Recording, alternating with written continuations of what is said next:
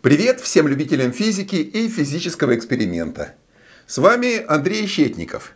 Ну и мы последнее время так часто стали снимать большие ролики с объяснением, с подробностями, что хочется иногда сделать что-нибудь короткое и простое.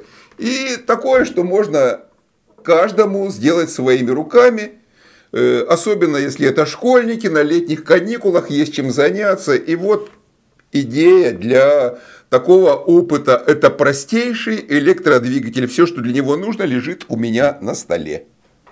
Это неодимовый магнит, катушка из 30 витков медного провода с двумя припаянными выводами, батарейка, которая будет служить источником питания, два соединительных провода и подставка. Я помещаю магнит на подставку. Провода к батарейке уже подсоединены.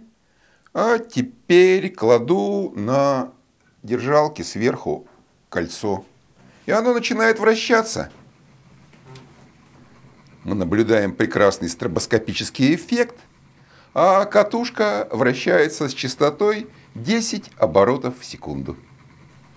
Катушка приводится во вращение силой ампера, действующей на электрический ток в магнитном поле.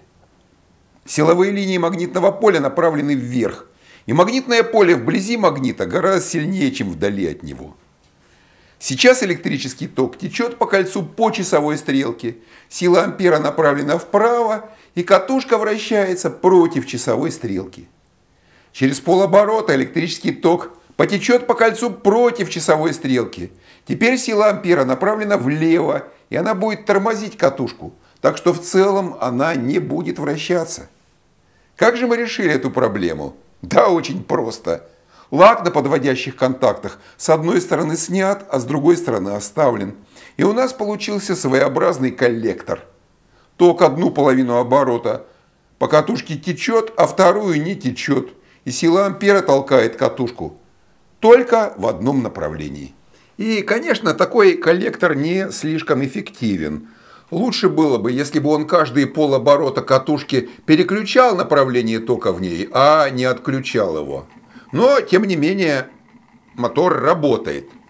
И что в нем приятно, то что вы можете все его построить, поиграться с ним, посмотреть, при каком положении магнита мотор ускоряется, как изменение положения – влияет на направление вращения катушки.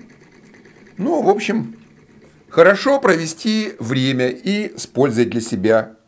А сейчас спасибо вам большое за внимание.